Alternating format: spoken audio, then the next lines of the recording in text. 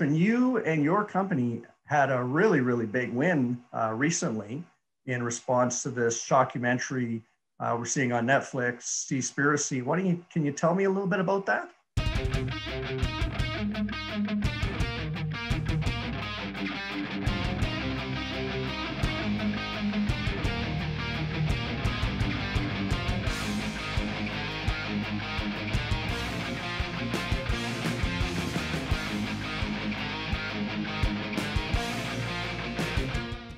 Hi, I'm Dave Mergel with Aquacraft Brand Portfolio and Aquacraft Seafood Innovation, and this is where we talk to thought leaders around the seafood sector and influencers around the world, all about using brand marketing to reorient towards the consumer, all about growing seafood consumption here in North America. So today, we're going to take on these guys, the shockumentary that broadsided and shocked the seafood sector. And it really was unprepared to mount a defense except for one person and one company stepped to the forefront really quickly, and that was Biomar, a forward-thinking feed company based in Europe, and their global head of brand and branding and marketing, Katherine Bryar. In fact, Katherine and her company Biomar had a really big win pretty early on, and that was forcing these guys to retract and correct one of their many false statements they made in the movie on both their movie and their website. Pretty impressive stuff. Today's conversation with Katherine was excellent. We talked a lot about the role of brand marketing and the future of the seafood industry. We talked about her story uh, growing up as the daughter of a dairy farmer in Australia and the role that played in her career choice. And most importantly, the big win she had against this shockumentary. I hope you enjoyed today's conversation with Katherine Bryar as much as I do. Well, good morning, Katherine. I'm here with Katherine Bryar. She is Global Head of Branding and Marketing with Biomar, a large global uh, aquaculture feed producer. Katherine, welcome and thanks for joining me today. Thank you for having me, Dave. And Katherine, you and your company had a really, really big win uh, recently in response to this shockumentary uh, we're seeing on Netflix, Seaspiracy. What don't you, can you tell me a little bit about that? It's important that we as a sector stand up for misinformation. And uh, the the claim was completely outrageous, um, saying that it takes five to 20 kilos of, of, of, feed to, to produce one kilo of salmon. And that's not even physically possible for, for the fish. And the, the further, the deeper I looked, the more I realized that not only the information on the, on the movie, which in various sectors from NGOs to, to Scottish salmon um, and, and right through uh, to the fishing industry had been exaggerated and or had taken data that was decades old, which is totally irrelevant. Now, it was important for us to, of course, stand up for our own segment, which was feed, and ask for that outrageous claim to be removed from the website, um, which it was, which we're very grateful for. Um, others have to stand up as well and look for things that are, have been said in the incorrect way and put their complaints in. Netflix is collecting all the complaints. So we'll be interested to see what they do about that. So if you do have something out there in your sector that has been mentioned that's wrong, send through the science, get it out there, and, and let's see if, if we can make a difference. Um, it would be great to see if uh, it can be re you know, taken off the air possibly and and redone until the claims are actually absolutely correct and relevant for today. Well, and that's really amazing uh, results. So congratulations, because it is really important that, uh, that we address these misconceptions and fallacies when they're when they're sort of broadcast, and especially with such a big soapbox. Of course, that's uh, that can be dangerous for our industry, which is really populated by and operated uh, by people who are passionate about the oceans and sustainability and keeping the health of the oceans. And you know, I was thinking as this was all developing because it really was a shockumentary. I mean, there was just so many fallacies, but not only that, the, the techniques used really uh, served to achieve, you know, a certain objective and a certain perspective. Uh, but I really was thinking that for years, our sector has really not been prepared to deal with uh, these sorts of things if they ever came up.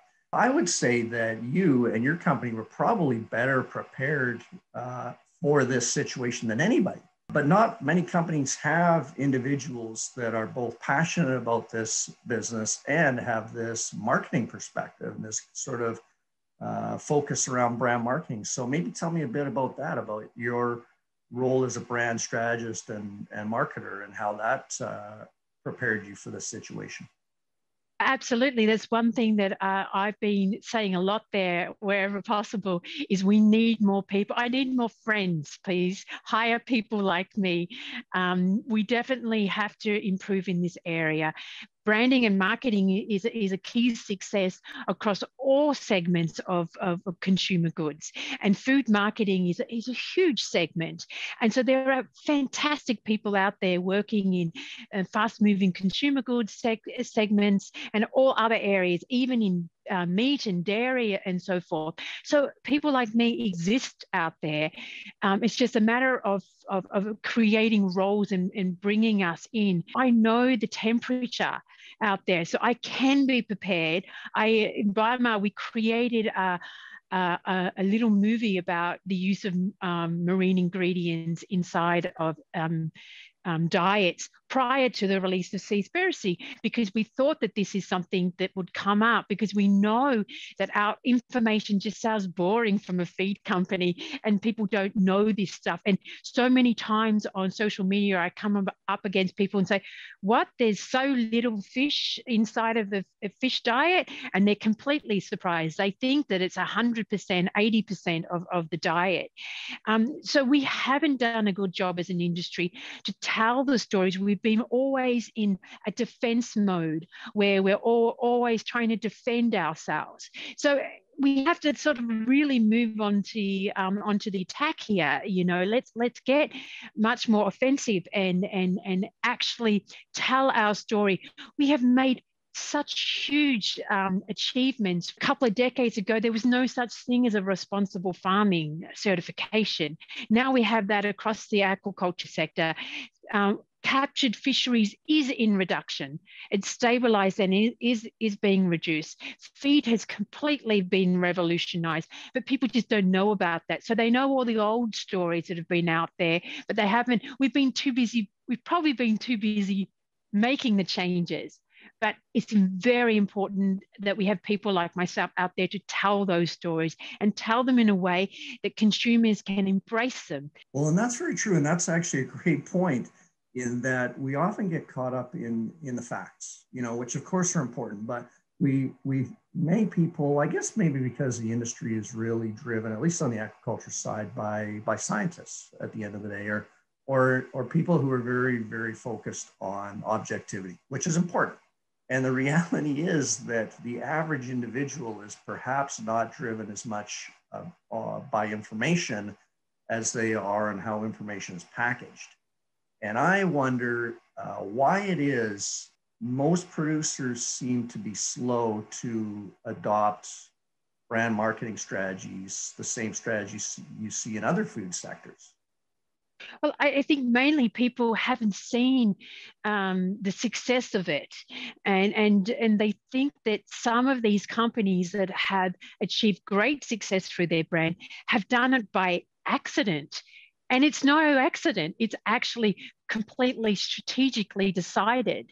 We have so many customers that are in the aquaculture industry so we get a chance to be able to talk to them and and through a lot of those dialogues, we are promoting maybe you need somebody in this in this role. Our, farmers just need to see it. So I'm hoping that we're moving towards where you suddenly see this small, medium-sized uh, farmer in Norway suddenly got a brand that's that's becoming very relevant across the US now, that on the back of great brands like Atlantic um, Sapphire and New Zealand King Salmon, the, the Lasso, um, Schooner Bay, you know, on the backs of all of these brands, people can see actually this is no fluke. That makes sense. And it, and you may be seeing critical mass now. I mean, I remember when I launched a brand in 2011 really it was completely glazed look over over one's eyes to say you know i really don't know how you're going to do this it sounds like a big scam to me but offline you were telling me about your uh, motivation I grew up on a dairy farm. and my family have been generational dairy farmers. So much of the conversation was uh, on the dinner table was the price of milk. So we were, our lives were ruled by the commodity market.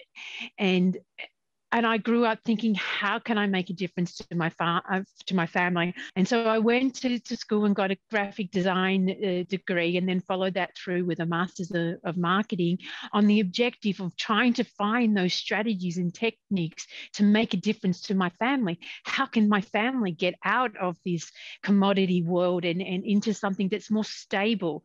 Um, and that's branding I learned the techniques of the big FMCG uh, world, and, and I brought that back in. I, I first worked with Australian eggs to dispel the myths around eggs and cholesterol, which was a fantastic global success. That campaign changed the perception of eggs literally overnight in two weeks. And then when that campaign got launched across the world, and now people don't even half the people don't remember the that eggs would, you know, affect your cholesterol level. From that, I went, I, I came into New Zealand King King Salmon and helped there um, with the Ora King. But even if you look at Ora King Salmon and New Zealand King Salmon, the company's not run by a farmer. Okay, the company's run by a marketer. All of his product range has a branding at different levels of the market, from the low grade to the high grade. So it, it, he's operating in in in um, improving the value of the product, even though they've they've barely got any more water space in the entire time that Grant's been there. But the company continues to succeed. So he's moving the value parameter. Would you? Would you say that that's the most important thing? Is is the people. Well uh, people is absolutely important and and marketing is intricate in the business strategy. You know where are you going? How do you want to get there? What have you got to sell? If you have a product that is not reliable any brand that you create can lose its equity just as fast as it gained or faster than it gained it. So it, but if you're at a stage where you feel that you have a stable great product that has a particular position bring in a marketer, a strategist to come in and tell, figure out what your story is. Well, that's absolutely right. I mean, it's not just about uh, the blocking and tackling, but it's it's literally finding what makes one's operation different. When in your process and in your experience in, in your various roles, some of these great brands, I mean, what of your brand was driven by this sort of uniqueness or the story you want to tell and what was feedback or insights on the customer and what they were interested in? Obviously you have to consider both but when you're in a when you're in a, a segment that is under branded which is what we're in it's a green field. You can tell your story. A lot of it um, the examples that, that I've had in the seafood were actually really about just finding that individual story. And then, of course, is that individual story, story a clear differentiation from the rest of the market? Can somebody else make that claim? Because if somebody else can make that claim on your brand, then you will eventually that lose the equity in your brand. So you have to find that unique identifying point. Well, that is really exciting because as marketers in this sector, obviously we want to we want to hear there's lots of green space and not as much competition, but one thing, and I always, I think recently I've been sort of thinking that, okay, we've had almost these phases in the seafood sector over the years, and you could even just focus in on aquaculture, and it more or less has been a long phase of production focus. And then, you know, if there's market activity, it's really tactically sales focused. And I really believe the next gains for this sector, and I believe the sector is about to explode there's just this reluctance to earmark the investment towards it because there's just this real fear of, well, if I open another, you know, if I expand my operation, you know, I can put more fish in the sea, or perhaps I mm-hmm. open a processing facility. Well, I have something tangible and I can identify the value of that. How have you handled those kind of conversations? Well, you know, the, the problem in the commodity world is that price, volume, turbulence constantly. What a brand enables you to do is actually step out of that. You have a brand that has earned a certain value proposition, which is connected to a price point. So your forecasting is going to be a lot easier and understanding uh, what you you can do from a business side and where you you know ultimately you try to create a range of products because not every fish that comes out of the, the sea is going to be perfect. So you need to have a strategy around your entire portfolio and start thinking of it as a portfolio of fish. It's not just the one, the one fish sitting in there or the two different species that you might be farming. Inside of that pen, you have A grade, B grade, C grade product. Your A grade product can be that of a premium, high price point um, product.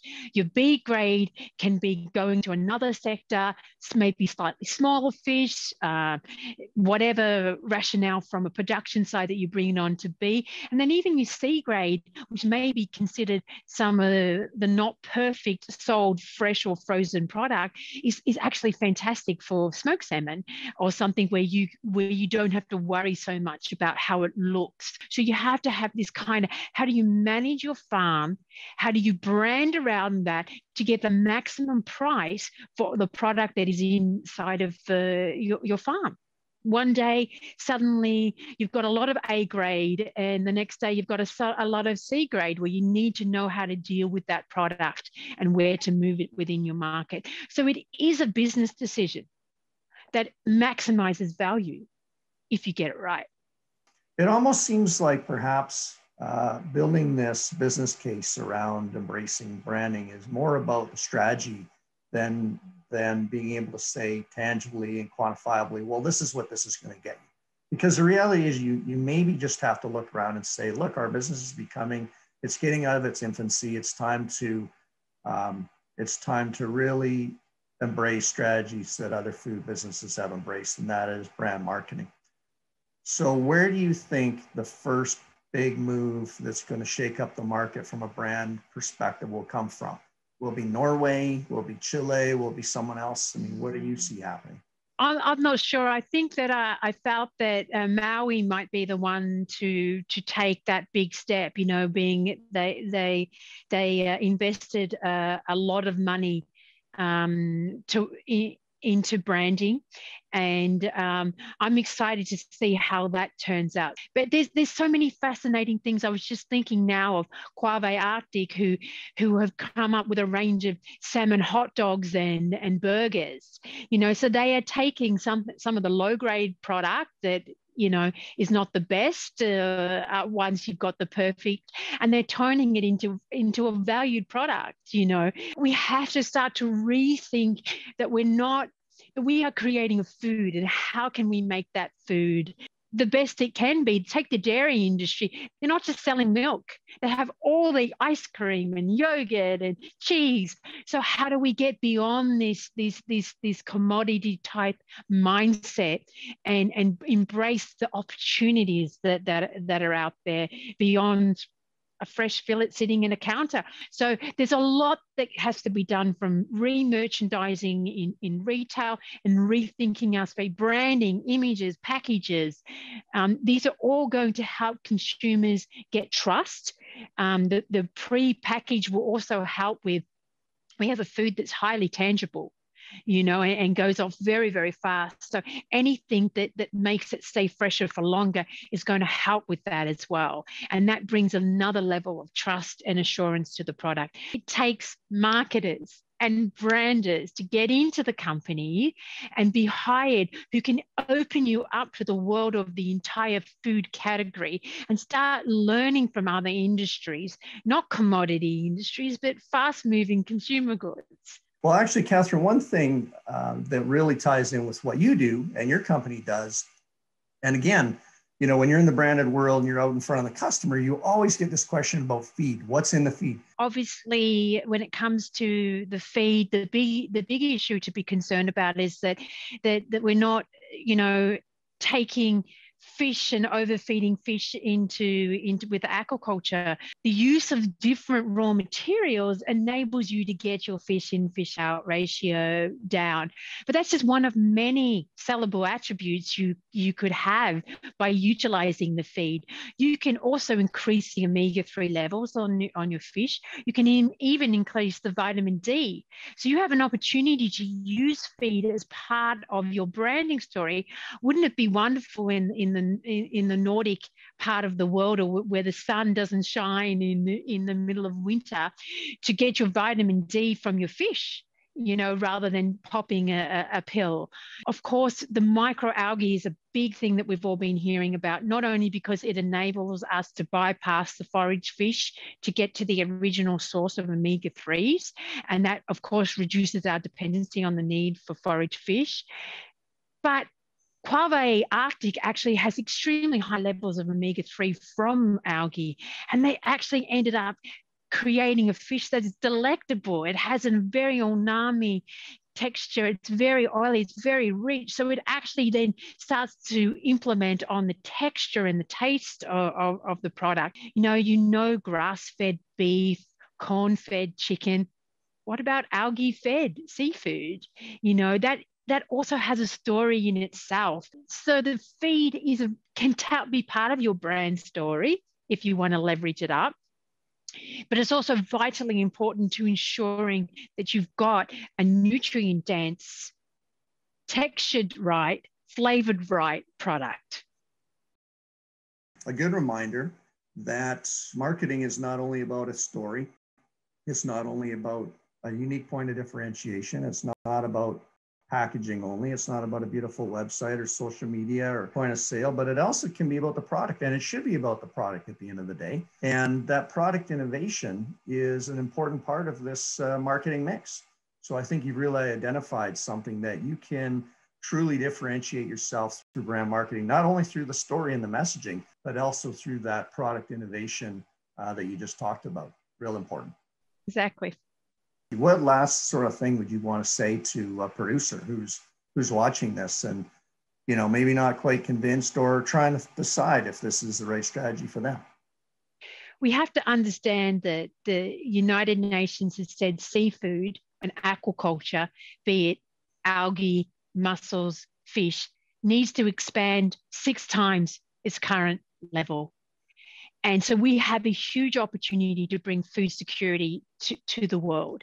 So the growth is there, the market is there, the world is supporting us. We have a low carbon footprint product you know so we have something that is is, is should be a, a choice for center of the plate especially on the reduction of, of of meats out there so the world is your oyster get out there embrace it because the market is there, the volume is there, it's only going to get larger. So go in and take your slice of the pie. That's great. I think we'll leave it there. Thanks, Katherine. This has been Katherine Bryar, Global Head of Marketing and Branding with BioMar. Uh, really great conversation on the importance and uh, future of brand marketing in the seafood sector. Thank you very much for joining us, Katherine. I've enjoyed it. Thank you. It was great fun. Thanks, Dave. And we look forward to getting some more people into the market.